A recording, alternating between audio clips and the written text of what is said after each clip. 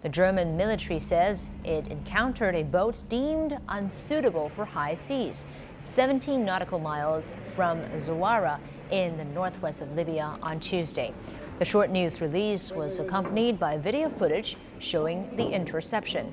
Using speedboats, the crew removed 207 people from the vessel. They included 25 women and two children. They then took them to the frigate Schorik Holstein.